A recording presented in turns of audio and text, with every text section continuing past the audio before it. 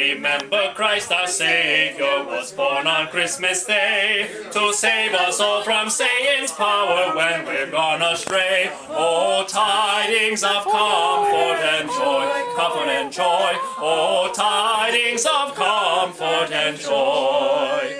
From God our Heavenly Father, a blessed angel came, and unto certain shepherds brought tidings of the same.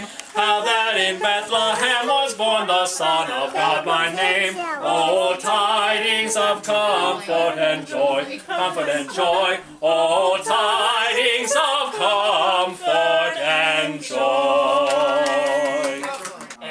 like to express my appreciation and my gratitude, especially to the man of the house, lady of the house, for taking in, taking in this poor slovenly vagabond. And the Gilmours are moving next year. I also realize that you practice great, um, how would I say, you took a great risk by inviting an insane person like me into your home. And the Gilmours are moving next year. And I would, I would like to, I would like to say that I admire your courage and your willingness to take that risk.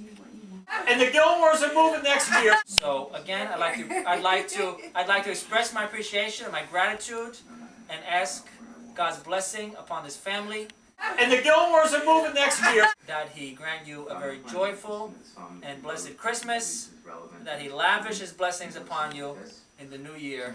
And the Gilmours are moving next year. Thank you so much for having me. Merry Christmas. And the Gilmours are moving next year. So don't look for them yet.